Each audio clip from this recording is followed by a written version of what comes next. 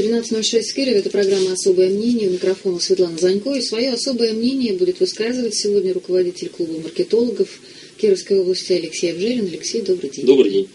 Вот так вот я дозвонилась до Алексея вчера, после того, как была э, закончена, насколько я понимаю, литургия, да? Ну, был молебен молебен, извините, я плохо разбираюсь, это большое мое упущение, надо разобраться поподробнее. Был молебен по окончании Великорецкого крестного Да. хода, о котором мы и поговорим с самого начала, но я сразу скажу нашим слушателям, что не только об этом событии мы будем говорить, но я считаю, что оно действительно очень важное, тем более, что эм, есть о чем здесь поговорить на самом деле. Написали, естественно, об этом э, событии ну, практически все СМИ, в том числе и федеральные, потому что мы ощущаем, что Великорецкий крестный ход приобретает всероссийское, а может даже международные масштабы. Цифры, которые назывались, э, которые назывались э, в этом году, они просто какие-то ну, огромные. 35 тысяч, насколько я понимаю, а в самом ходу участвовали, и еще порядка 40 тысяч э, прибыло в Великорецкое. А, Давайте, во-первых, я вас прошу, вот вашу историю попрошу вас рассказать, почему вы отправились э, в этот крестный ход и который раз, кстати. Ну, я хожу уже давно, и, и, конечно, я не до конца, не каждый раз доходил до конца, это было всего два раза. А несколько раз мне приходилось э, идти до Великорецкого, э, где-то уходить раньше по причине либо командировки, либо отбитых ног, и это тоже бывает даже у опытных полковников иногда случается. А, Вот. А почему я пошел? Потому что ну, душа просит, душа просит. А такое большое событие, такой большой праздник, конечно, трудно остаться в стороне, такое единодушие. Действительно, очень много людей приезжает и из других городов, с ним постоянно встречаешься, крестным общаешься, из других стран постоянно, японцы разные и так далее, кого только нет. Да, и это очень радует, очень радует. Что касается числа людей, действительно в этом году было по ощущениям больше людей, как в самом ходу, так и на берегу Великой, потому что если в прошлом году мы могли на берегу Великой подойти э, хотя бы на- середину к храму, да, то сейчас только с краю стояли, и служб еще было четыре целых службы, две ночных и две утренних, и яблоку не было где, где упасть, и народ все прибывал и прибывал. То есть и Ну, даже Давайте мы об этом сегодня- чуть-чуть попозже а, поговорим. Все-таки хочу а, понять, с какими вы идете в крестный ход мыслями, задачами. Мгм. И, может быть, вам удалось с кем-то пообщаться, познакомиться, с чем Мгм. идут люди. Ну, люди, конечно, они идут в первую очередь помолиться, потому что крестный ход – это богослужение, считается особый вид богослужения. А, Это трудная задача, надо много идти с э, грузом э, вещей, которые необходимы в дороге. Вот. И, конечно, люди ну, идут, э, молятся. Э, Почему пешком, да, например, мы могли бы перевести эту икону на машине, там был обед дан там 615 лет назад, икону доставлять на ее место. Этот обед совершается до сих пор, вещание. Ну, люди идут пешком, почему? Потому что, э, потому что, ну, у каждого своя, э, скажем так, задача. Но в основном помолиться, покаяться, может быть, да, вот понести какой-то крест небольшой, там, скажем, в этой жизни, потрудиться ради Бога, ради собственной души. И вот этот вот напряженный труд, э, который происходит, он сопряжен с огромной радостью, которая получается, когда приходишь туда, например, когда обратно приходишь, когда постоянно как-то молишься и так далее. Что касается других людей, там э, очень интересно люди попадают. Вот когда я шел в 2009 году со своим товарищем, он мне сказал, что каждый человек личность. И действительно, ты вроде бы с виду невзрачный человек, там одеты все просто. Вот, но когда с ним начинаешь общаться, там у него внутренний богатый мир, там ты понимаешь, что перед тобой человек с большой буквы. Это действительно очень много интересных людей попадается по дороге, и с кем-то знакомишься, у всех своя жизнь, своя интересная история. Ну, задачи, которые вы обозначили, я так понимаю, это были ваши, они такие достаточно общие. И каждый год и каждый день перед каждым человеком стоят. Да. Наверное, там были люди, которые шли с какими-то конкретными э, э, задачами на этот крестный ход, может быть, болезнь какая-то, и решение бизнес-проблем, я знаю, даже ходят. Ну, Были люди, такие? люди действительно ходят с разными, с разными задачами. Что касается, если про себя, то идешь, э, ну, подумать, помолиться, попросить, э, приобщиться. А, вы себя можете назвать глубоко верующим человеком? Глубоко верующим назвать я не могу, но верующим могу назвать себя. Глубоко верующие люди, я их встречал, в том числе в крестном ходу, это люди, с которых надо брать пример, это люди, опять же, большой буквы, да, но я не такой, как они. Ну вот э, такой, э, так, такое шествие, такой длинный ход, он вас в вере утверждает? Конечно. Каждый он придвинулся, да. Конечно. Почему, знаете, вот есть такая фраза, что хотя бы раз в жизни надо сходить в крестный ход. А, но если ты сходил уже один раз, ты хочешь каждый год ходить. Вот это тоже. Э, потому что я видел, с какими слезами люди выходят из хода. Или с какой тоской люди провожают ход, или там, которые не могут идти, те, кто ходил раньше, например.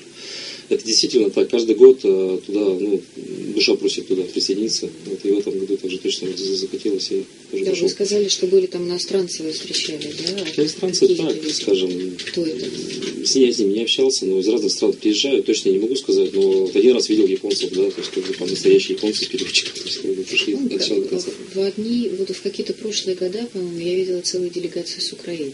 С Украины очень много людей в этот раз, очень много людей, то есть А э, откуда с Украины? а Луганск, Луганск и Киев есть, то есть как бы они просто общаются, то есть ты, с- ты с ними разговариваешь, ты слышишь их разговоры и на эту тему там. Из Луганска, из Из Киева? Луганска, были да, да, да, да, Они очень много людей. Они молятся о мире, потому что им очень тяжело. У них же там гибнут люди, и там близкие и так далее. То есть домов нет, ничего нет.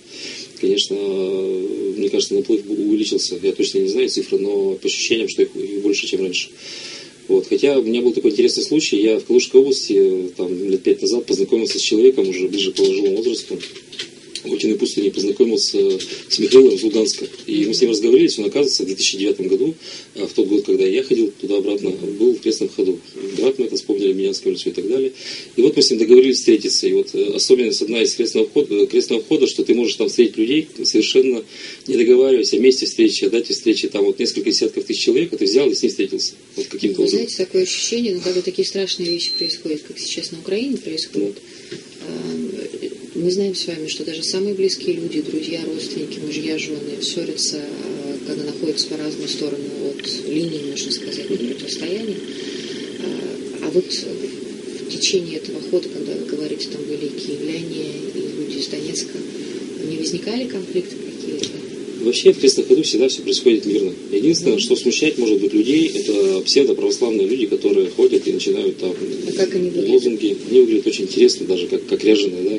То есть э, не следующий человек может подумать, что это перед ним священник, например, но это не священник. То есть у него в руке большой крест, вот сейчас с нами шел там на икона, там, Божьей Матери, одет он в рясу, на голове у него почему-то такая, ми- ну, скажем, архиерейская скуфья, ну, шапочка такая бархатная, скажем так. Посох тоже у него архиерейский, почему-то, я не знаю, такой уже. В общем, тут набор всего, скажем так. Но некоторые люди, которые не совсем разбираются в этом, они, кажется, ух ты, туда-сюда приходят, прикладываются. Они там идут, человек 30, поют всякие песни там и так далее. То есть, Но как Ну, на них что- никак не обращают э, настоящие священнослужители э, внимания или каким-то образом пытаются все-таки оградить их от общения с людьми. Они растянуты в ходу, ход очень длинно растягивается, то есть он идет, и они как-то занимают там свое место. Свое место. Они с Но- какими вы говорите, там, с лозунгами даже, с чем они идут? Ну, отдельные личности призывают там за царя, ИНН убрать там, ну, такие горящие глаза там, ну, некоторые люди откровенно больные, то есть как бы бывает. Ну, это единичный случай, единичный случай, но они всегда бывают каждый год. То Ну, есть, а в э, этом году их больше или меньше? да я не знаю, больше или меньше, наверное, не больше, но просто так получалось, почему-то они все время рядом оказываются. Хотя ход же длинный, вроде бы там раз- разошелся и все. значит, что их много было. А, Нет, и одни и те же, я про одних и те же говорю. Да, перемещаются Этих вот товарищей, туда, которые, да? да, переодеваются. То, то есть, ну, и- то есть их священнослужители не пытались каким-то образом отстранить вообще никого. Ну там, да, там, там нет таких вот э, противостояний, каких-то конфликтов, так уж люди, скажем, скромно, с терпением, с терпением относятся там друг к другу, там, с пониманием, с каким-то, может быть, даже. А вот я тут читала в новостях, что ночные волки, байкеры приезжали на крестный ход, они где вообще находятся? Я тоже про это слышал, но я их не видел. Понятно. А, Давайте поговорим о том, как в этом году был организован крестный ход, потому что ну, огромное количество людей. Это уже само по себе можно назвать там, э, давайте отстранимся от непосредственной цели крестного хода, что он себя представляет, но это большое количество людей, это некие мероприятия, в том числе и для служб, которые должны обеспечить безопасность, там, сохранность, чтобы люди поели, чтобы им было хорошо и тепло при таком количестве народа. Да? Э, Давайте поговорим о том, как был, э, вот, например, жаловались люди, я знаю, на темп движения.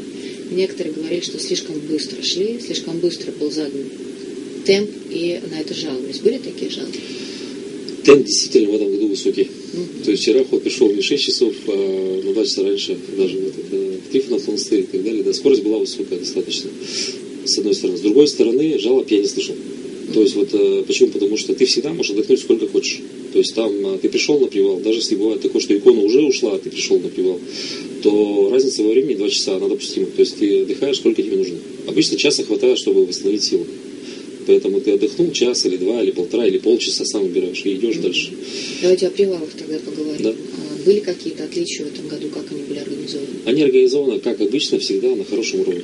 То есть, ну, Ну, ничего значит? такого специального. Для людей, которые, например, ни разу не бывали или были давно, как вот это сейчас? Ну, там выражается все поддержки. Везде спасатели идут вместе. Ребята молодцы. Им надо, конечно, снять перед ними шляпу. МЧС. А? Да, МЧС, врачи там все идут, они всегда рядом. То есть, как бы, когда кому-то становится плохо, это всегда бывает, а, идет крик врача-врача по цепочке, врач быстро приходит. То есть, кто-то сбил ноги, его усаживают, значит, э, перебинтовывают ноги, кого-то, значит, ждут машину, довозят. То есть, все отлажено, как обычно, хорошо. То есть, ничего такого, чтобы там плохо было сделано в этом году не, не было. Всегда хорошо делано. Я, я даже слышала, что а, можно было в камеру хранения своеобразную передвижную сдать э, груз, который ты уже не можешь. Слушайте, да, это уже не первый год, и это просто счастье какое-то, потому что тащить все нереально. Вот если мы в первые годы как-то все пытались что-то умудряться там нести, да, потому что спальный мешок и палатка это очень тяжело. Сам рюкзак, чтобы впихнуть это дело, он тоже нелегкий, да. Поэтому, конечно, ну, очень многие люди сдают вот эти самые тяжелые вещи, которые нужны только ночью. И это, ну, это благо. То есть там большой поток желающих, и мы тоже ребятам благодарны за это, за такой вот, как бы, за такую находку, да, что вот это появилось. Это же не всегда было всего лишь несколько лет, это там 2-3 года, 4, может быть, не знаю. Ну и вот мы добрались до вопроса, который вы уже э, затронули. Это непосредственно, когда э, крестный ход пришел э, в Великорецкое, э, поскольку туда приехало очень много людей, больше, чем шло. Э, Вы сказали, что вы только с краю смогли там постоять, что было трудно пробиться, э, там, окунуться в реку, пробиться э, к службе, к месту службы, к священникам. Как это все было? Ну, с краю, смотрите, там, то есть храм а, на открытом пространстве находится на берегу Великой, и места как бы всем хватает. Единственное, что я отметил, что в этом году я стоял на дороге, а в прошлом стоял в середине вот э, той массы людей, которая была сейчас на берегу реки. Но так как все организовано, опять же, хорошо, все слышно, все видно, то с любой точки, то есть ты все равно принимаешь участие в богослужении, где бы ты ни стоял. А как это слышно? Там были усилители, да, там звука, да? да, Аппаратура была? там иначе не слышно будет, нереально, слишком много людей, там несколько десятков тысяч. Вот. А что касается реки, там вообще без проблем, особенно у мужчин, у них всегда быстрее получается, чем у женщин. Да. Понятно. А давайте поговорим еще вот э, о чем. Э, Знаю, что всегда во время крестного хода организуется торговля. А только не знаю, поскольку сама ни разу не была, э, это только в Великорецком или на привалах тоже. Как это было организовано в этом году, потому что когда крестный ход начинался, вот с коллегами поговорила, кто ходил в самом начале, они рассказывали, что были только церковные лавки, которые соответствующие товары предлагали. Сейчас как-то по-другому все. Как? Ну, опять же, из года в год резкой разницы в этом году нет. То есть из, из года разве что матрешки крупные, про которых я сейчас тоже скажу. А, в самом Великорецком больше всего стоит торговых палаток, павильонов. И, и это нормально, потому что люди подходят, покупают сувениры, там, народные промыслы. Ну, я здесь не вижу ничего такого. Какие конкретно сувениры? Налинская, матрешка вот постоянно каждый год э, присутствует. Там, я все не рассматривал, там их много очень. Э, Ну, и народные промыслы, как бы практически там многие собираются. Вот. В этом году была фабрика больших матрешек. Мы с вами знаем, что это такое мини, мини-торговое как бы, такое оборудование, да. А они с какими целями? Они выставили, я думаю, что они выставили с рекламными целями, и как маркетолог я считаю шаг очень хороший, потому что фотографировались все, в инстаграм у страны разойдется точно это все, потому что, ну, мне тоже очень не понравились, я первый раз их вживую видел так близко, и в ассортименте, скажем так, да, сфотографировал несколько раз тоже сам, ну, сам не стоял у нее, но так вот со стороны сделал несколько снимков тоже себе на память. Одежда какая-то. А, одежда, да, что-то продавалось, ну вот мед продавался там, ну не знаю, это праздник, понимаете, то есть как бы... Примерно все то же праздник. самое, что на ярмарках продается, например. Да. Или на днях, например, э, Кировской области где-нибудь. Э, Да, наверное. То есть это уже такое, э, Ну, нет лишних-то предметов каких-то других таких особо не встретишь. То есть народные промыслы, мед, там, ну, поесть обязательно, конечно, что-то приезжают, люди продают. Вятский квас, это пресловутый. Вот Туржунский, кстати, считаю, недоработка, его там постоянно нет почему-то, да, вятский квас, то есть надо людям выбор давать, Мгм. чтобы могли это другое покупать. Ну, то есть вот мы с вами добрались как раз... э, Ваше-то отношение, насколько я уже прочувствовала через ваш ответ, что там одежда, сувениры и другие э, не святые, так скажем, вещи, да, они имеют право на... Ну да, ведь много же людей приезжают из других городов, ведь они, ну, наверное, хотят что-то вести с собой на память, в том числе из, э, скажем, ну, из народных промыслов. Почему Получается нет? все-таки, что крестный ход, то, о чем мы говорили уже давно, Великорецкий крестный ход, становится своеобразным брендом и даже туристическим продуктом. В каком-то смысле, да. Конечно, как туристический продукт для туристов продавать, наверное, будет сложно. Да? То есть есть понятие православный туризм, который тоже надо как-то определить, да, что это значит православный туризм. Ну, как что... же, вот, например, мы знаем с вами, что многие туристические агентства оказывают услуги по совершению хаджа, например, да? Угу. Ну, по поездкам туда, в какие-то святые места за границу или не за границу, в рамках нашей страны тоже по святым местам. Это продается как туристический продукт. Это, да, вот церковный туризм, православный туризм есть. В Великорецком крестном ходе надо отметить, наверное, следующую вещь. Если люди приезжают верующие, глубоко верующие, это для них больше паломническая поездка, такая специальный такой mm-hmm. труд, да, то есть ну, с чем-то похож. Тогда здесь возникает вопрос технического характера, как лучше доехать, где там переночевать и так далее. Хотя здесь все мобильно, палатки с собой, то есть, как, в принципе, где, где возможно.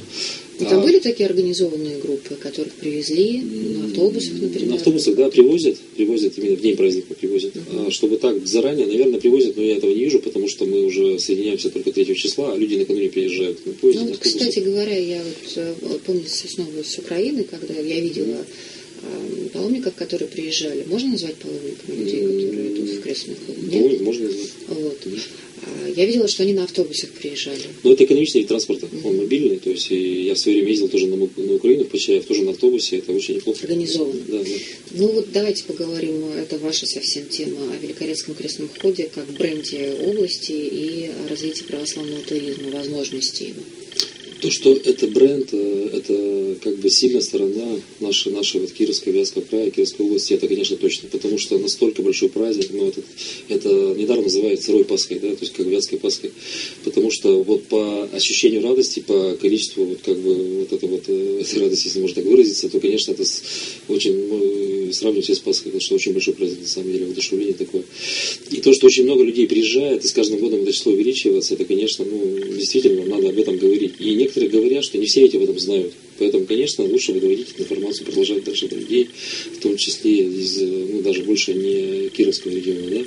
Чем больше людей знает, тем больше людей приедет, и это и хорошо. И дальше, кстати, да? это хорошо, но дальше начинаются тоже вопросы. Потому mm-hmm. что чем больше людей, тем больше проблем по э, устройству, собственно, этого хода, в том числе по устройству села Великорецка, который должно принять всех этих людей. Ну, ну, и Кирова тоже, который тоже должен принять все эти Вот здесь как раз надо провести черту, скажем так, да. Вот mm-hmm. если это паломники, верующие или глубоко верующие люди, да, то... Они тоже люди. Они люди, да, но им достаточно палатки, которые у них с собой в руках, грубо говоря. Остального достаточно хватает. То есть есть большие палатки на всех местах. Ну, то есть нет такого случая, чтобы кто-то там на улице остался, там под дождем переночевал. Я прошу, случай. конечно, прощения, да? но это такой вопрос интересный. Когда да. идет э, э, много-много-много тысячная э, колонна людей, они извините, должны где-то в конце концов даже в туалет сходить. Вот просто вот на такие какие-то вещи. Э, ну, еда может продаваться, наверное, да, вода может продаваться. Там, туалет, он тоже платный? А, туалет, я не знаю, есть биотуалеты на, на больших стоянках. Ну, и, конечно, этого количества, ну, наверное, не хватит.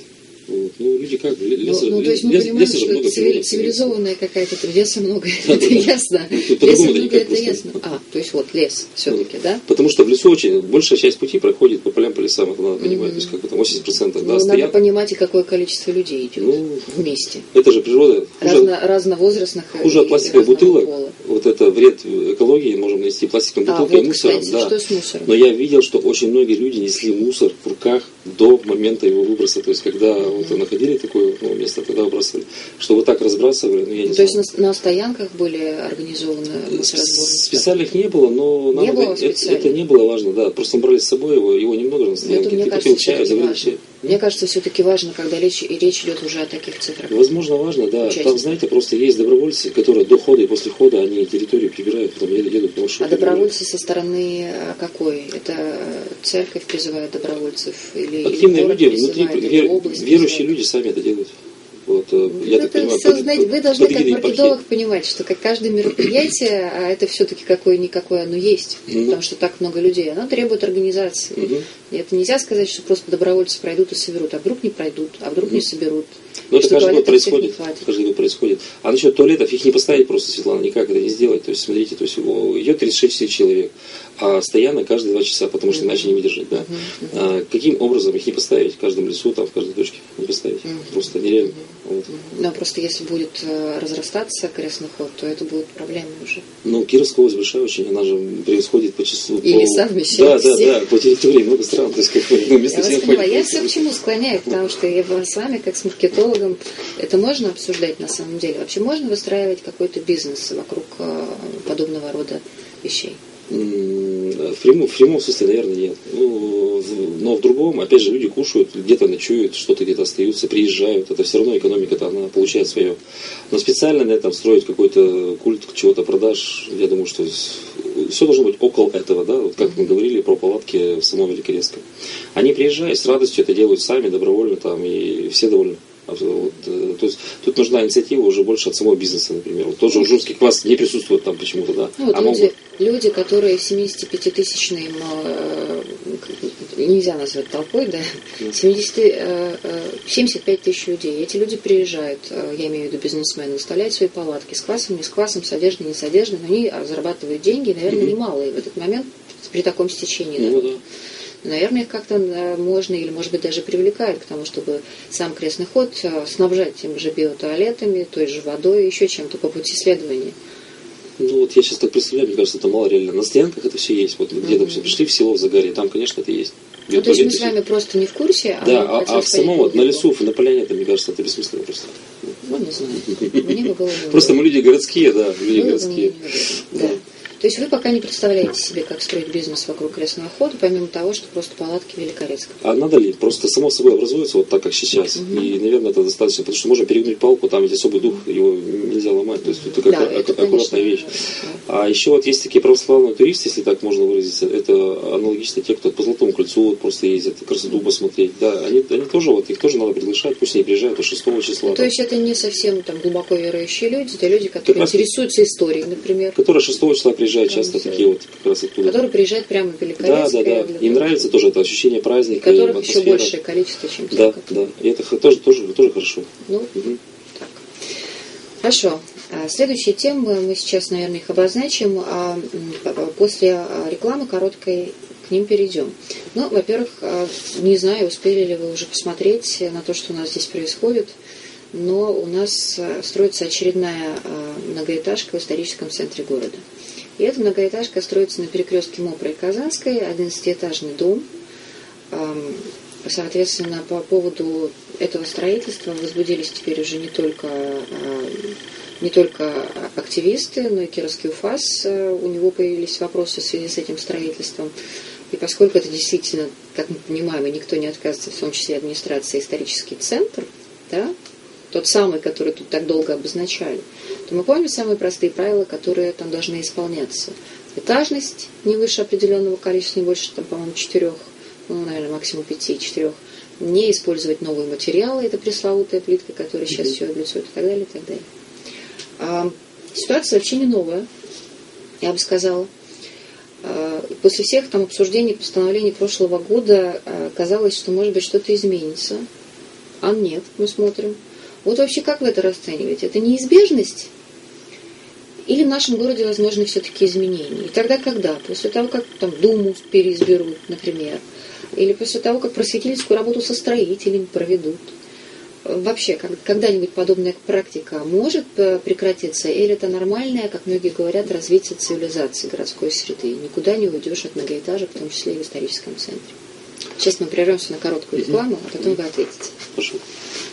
Продолжается программа «Особое мнение». Напоминаю, что вы сегодня слушаете «Особое мнение» руководителя клуба маркетологов Кировской области Алексея Обжерина. И мы остановились на вопросе э, строительства многоэтажек, свеч, как мы их называем, в исторической части города. И э, в данном случае идет речь о свечке, э, которую строят на перекрестке улицы Мопрой Казанской. Там уже заложен фундамент, насколько мы видим по фотографиям, по заявлениям. Вот. А там, в этом месте, строить такие здания нельзя. Но, оказывается, можно. Вот вопрос у меня простой. Вы считаете, это порочная практика? Или это нормальное движение цивилизации, да, урбанизация такая происходит? Если вы считаете, что это порочное, то тогда кто и когда это может прекратить? Действительно, во многих городах, включая Париж, Лондон и так далее, то есть это контрастное сочетание, которое режет глаз, оно возникает. И там, и там это все это есть. Вот. А с другой стороны, ну уж историческая зона у нас э, кировская, там уж исторически не взять, да, то есть самый там, по сути, центр этой зоны, да. И насколько я там э, изучал этот вопрос, смотрел, нарушений там целая масса. Нарушений просто, ну, а раз нарушение, то, конечно, надо приостанавливать. Сейчас я это как бы разбираться, что там как. Потом, я не знаю, не очень глубоко там просто разбираюсь, если там такие лазейки, что значит вот 3-4 этажа, да? Этажи могут быть разные по высотности. То есть могут быть 3 метра высотой, а могут быть там под 6 метров высотой, и тогда все равно эта высотка появится даже из 3-4 этажей. То есть есть ограничения, там, допустим, как раньше в Санкт-Петербурге, не выше, там, чтобы здания не были выше друг друга, да, грубо говоря. Mm-hmm. Такие были улицы, там, что, что все здания там одной высоты. Вот, поэтому, конечно, мое личное мнение, что, ну, эта высотка там, она скорее всего, неправильно, да, тем более, что очень, говорят, много нарушений. Но как это все удается, мне вот непонятно, честно, как человеку, мне не ясно. Каким образом эти нарушения можно было все обойти, угу. как-то так начать строить и так далее. То есть, ну. ну вот надо сказать, что и глава э, Департамента культуры областного Сырцев заявляет, что обошли их совершенно не получили разрешения, должны были, да? Там причем несколько и, нарушений, не одно, а несколько. ФАС говорит, mm да. А, ну, кстати говоря, градостроительный совет города дал положительную оценку проекту. Вот это и смущает, да, почему так произошло. И там архитектор, насколько я понимаю, да, в этом свете есть. Угу. И была же такая Должен инициатива, быть. была инициатива, чтобы были общественники какие-либо, да, в том свете. Это я не знаю, насколько там анализовалась эта инициатива. Ну вот э, на самом деле сегодня в 16 часов пройдут, пройдут общественные слушания. Правда, у меня есть подозрение, что mm-hmm. публичные слушания, подозрение, что там активисты и жители города особо не придут, но может быть несколько человек, вот Николай Пихтин собирается. Mm-hmm. И э, их мнение, я не понимаю, каким образом будет очередной раз принято, mm-hmm. и будет ли оно как-то принято. Тут важно, чтобы, наверное, работали э, соответствующие службы, которые вот заявляют, что есть нарушение. Ну, вот как думаете, вот по вашим ощущениям, она будет построена, эта 11-этажка? Ну, учитывая то, что сейчас вот как раз и руководители служб, и ведомств, соответственно, уже публично об этом говорят, то есть надежда, что не будет. Угу. А в принципе, представляете себе такую ситуацию, что вот говорят, да, а давайте мы вам разрешим строить здесь 11-этажку, но только вы за эту землю заплатите вот такую сумму. Когда приводите в пример Запад, например, где даунтаун, где высотки в центре города, бешеные деньги стоит земля. Именно поэтому там высотки, как вы помните, исторически стали возникать. Огромные деньги.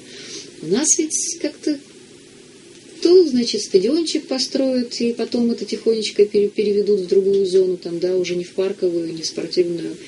То вот здесь тоже непонятно, я не думаю, что огромные деньги были заплачены. Вот если было бешеные деньги такие, на которые город мог бы сразу там кусок целых дорог не будет столько денег. Вот когда Малонович заходил в э, парк Кирова, да, тогда, тогда не будет и клиентов. Цена сделки была 13 миллионов рублей за землю. Mm-hmm. Да, это высокая цена.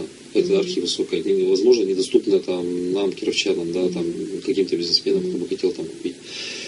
Но для бюджета, мне кажется, это небольшая сумма. 12 миллионов, ну что это? Что на них сделаешь в бюджете? Понятно, что каждая копейка сейчас на счету, но по кускам город раздавает за эти деньги. Ну, когда Макдональд заходил, например, к парку цирка, он как-то стал, знаете, у дороги, у проезжей части, и вполне себе людям, кто гуляет, э, нравится в парке там сейчас покупать еду. Здесь совсем другая вещь, коммерческая недвижимость. Нет, я имею в виду, что сумму большую все равно не получишь. Какая она большой не была, это будет для бюджета все равно не кардинально высокая сумма, которая решит разом все проблемы. Вы не видите такой возможности, чтобы там бешеные деньги со строителей вообще брать? Они, может быть, и платить-то будут не готовы такие деньги. Да, то есть какая бы сумма ни была, она будет все равно бюджет небольшой. Угу. Ну, то есть есть надежда, что высотку не построят, и вы считаете, что она не должна быть построена? Да, думаю, что да, потому что раз на таком уровне уже обсуждение идет, то, наверное, что-то будет уже решение. Угу. Хорошо. Ну, вы свой голос отдаете против. Ну да, там надо беречь то, что сейчас любовь к городу просыпается благодаря Антону Касану, Пешков на Вятке, Никите Юрьевич первый импульс самый, когда угу. в начале первого срока начал нам рассказывать кировчанам, что у нас есть хорошо, да, угу. значит, дал положительный импульс. Поэтому, конечно, очень многие люди любят свой город, и именно его историческую часть надо ее держать. Вот насчет того, как люди любят свой город, э, хочется с вами поговорить в оставшееся время в преддверии завтрашнего разворота на бизнес. А если ничего не изменится, то завтра у нас с Олегом Прохоренко в развороте на бизнес как раз будет обсуждаться вопрос о взаимодействии власти, властей городских и бизнесменов по поводу того, а не хотите ли вы что-нибудь пожертвовать городу, сделать то, сделать все, и кто вообще должен, должны ли власти, могут ли власти выходить с такими предложениями, или необходимо дожидаться, пока бизнес сам придет и скажет, я вот такой патриот, я тут готов не только клумбу, но еще там и велодорожку, и еще там вот переход, или, например, э, как вот э, активисты много чего предлагают, э, в частности, те самые тумбы для отдыха на набережной около лестницы, проект которых мы можем увидеть на сайте и группах, где собираются деньги на этот проект. Вот это мы будем сюжет вопрос завтра. И вас в преддверии хочу тоже с этим вопросом, этим вопросом зацепить и спросить. Вот смотрите, у нас есть такой пример достаточно яркий этого текущего года, не буду говорить календарного, а вот года такого, да, а, когда были собраны немаленькие деньги, 12 миллионов, сколько я помню, стоимость а, памятника Трифону Вятскому. Очень быстро был сделан за, за три дня проект, практически предварительный был принят. И собраны деньги, и поставлен памятник той дате, которая ожидалась. Бизнес, понятно, вкладывался. Очевидно же, что ставили задачи перед бизнесом или нет? Ну, в любом случае, это же не так просто пришел туда, постучался, да, вложу. Всегда идет разговор, предложение, и это надо делать. Надо все равно обозначать путь-то, да, то есть как бы призывать чему-то. Сам по себе все равно бизнес. И, во-первых, некогда уже заниматься своими там э, делами, продажами и так далее. Поэтому какой-то клич нужно бросать. Кто должен бросать этот клич? Вот достаточно ли активистов городских, как, например, активисты движения «Красивый Киров», которые сейчас собирают деньги на тумбы Э, на, на, на набережной для отдыха, фотографирования и загорания, да? Или все-таки имеют право и городские власти, и самые главные лица в городе, а может в области, призывать бизнес и собирать даже их, ну, и рассматривать проекты. И все формы хороши, и активисты тоже молодцы, это здорово, что снизу они идут, там что-то предлагают, собирают деньги, какие-то удаются средства собирать, это очень хорошо. Вот у нас же в прошлом году сделали несколько красивых там ну, цирка цветов, там, Клумб, шаровая форма, да, то есть как бы собрали люди деньги, хорошо вложились. И это похвально, потому что люди сами организовываются и что-то делают хорошее. Ну, это активисты. Да, активисты. Но когда речь идет о больших суммах, конечно, нужны уже здесь тяжелая артиллерия, то есть тут ну, ничего скрывать, это понятно. Надо уже всем миром собираться, и, конечно, в, этом случае большая роль от первых лиц. А вы изнутри вы знаете ситуацию. Все маркетологи знают, как часто к ним обращаются там, городские власти и за помощью. Ну, часто, не часто. Но у нас э, наш личный бизнес в районах, да, к нам обращаются, иногда мы по мере возможности помогаем. А с какими, с какими, например, вопросами или просьбами о помощи обращаются? Ну, парк помочь там что-то сделать, что-то оформить празднику там и так далее. Какие благоустройство? Да, да. Это благоустройство? Какие-то призы кому-то там на праздник там где-то бывают. Ну, различные ситуации бывают. У кого в каком районе какие свои там задачи. Есть другая ведь точка зрения. Да. Вы говорите, вы считаете, что нужно помогать обязательно заботиться о городе по мере своих возможностей. Есть ведь другая точка зрения, что а, там какие-то серьезные вещи, в частности оборудование площадок, а, там территорию около офисов, тротуаров и так далее. Вот сюда бизнес не не. Вот это вот обязательно власти должны сделать городские, какой бы бюджет у них ни был. Или все-таки бизнес не не не. Ну, должен и туда тоже вкладываться. Изначально, конечно, смысл бюджета такой, что действительно за счет бюджета должно делаться. Другой вопрос, что у бюджета Кировской области никогда не было дефицита, профицита. Он всегда дефицит. То есть денег никогда нет, особенно сейчас в этом году. Но и когда, допустим, бизнес перед своим а, там, офисом или магазином благоустраивает территорию, я считаю, это нормально. Пусть даже эта земля не их там и так далее. То есть и мы так же делаем, другие многие люди так делают. Вот, но сейчас просто время тяжело. Э, пик кризиса, насколько мы можем понимать, он еще пока ведь не начался. То есть мы, почему? Потому что мы многие товары пока покупаем еще по старым до, этим, до кризисным ценам, по старому курсу доллара, а еще кто-то устраивает распродажи, им наличка нужна. То есть мы еще пока не увидели дорогих товаров, можно сказать, потому что в России столько товаров, что их не купить, их, их пока очень большая масса, да, там перезадавались ну, да, большая. Ну, мы поняли, что кризис, да, все на да. всех сторон. И поэтому, если мы, допустим, на вход парка в прошлом году там несколько спонсоров нашли в свое время, да. Долгая Украина. Да, то в этом году мы хотим сделать более качественно, потому что там облезло все, да. Угу. И мы не можем найти 40 тысяч. То есть мы все спонсоры прошлогодние они отказались, потому что все сейчас очень деньги, как бы, они в прошлом году сами предлагали. Вот, поэтому Э, тут такое дело, если надо, конечно, в диалоге быть, но понимать при том, что сейчас ну, бизнес, бизнес очень многие за выживание просто борются, да, потому что вопрос с ребром стоит сейчас у многих бизнесов, скажем так. Ну, а в целом, как вы можете оценить? Можно ли разделить бизнес, там, например, 50% э, активно вкладываются и готовы, прям у них статья есть, а 50% считают, нет, нам все нам тоже вот должны это сделать, потому что это по закону там. А как вообще это распределяется? Процент Каждый, я- который бизнесмен готов быть благотворительным для Процент я не знаю, но каждый человек к этому приходит рано или поздно, пусть там, может быть, не все, но просто в какой-то момент приходят, тем более еще очень, очень же заражает еще положительный пример, когда кто-то что-то делает, другие тоже хотят что-то сделать. Это мы тоже вот видели, да. Если кто-то что-то сделал впервые, то сразу обязательно находятся последователи, которые тоже А что что-то... это такое? Это имиджевая составляющая или это души стремление, или просто вот эта конкуренция такая? Ну, насчет им- хуже? имиджа я скептически к этому отношусь. Нельзя за счет, э, скажем так, э, хороших дел э, пытаться себе заработать имя. Да? То есть, ну, Почему нет? оно зарабатывается, возможно, в некоторых случаях, но если человек не стремится к этому, а просто Ну, не делает- за счет же плохих, правда же? ну, за счет плохих точно, да, там, в обратную сторону. Но просто иногда, знаете, бывает так, что человек устраивает благотворительную акцию ради поднятия продаж. Вот это утопично. Почему? Потому что, ну, и начинает все это дело рекламировать еще за свой счет.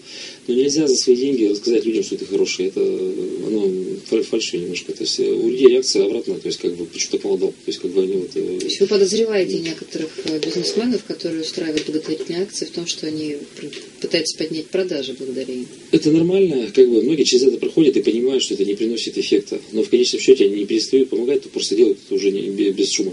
То есть приходит Да, э, некое знание, да, и Да, это этап ощущение. нормально идет, постепенно мы же растем. Как Наш возраст меняется немножко в старшую сторону.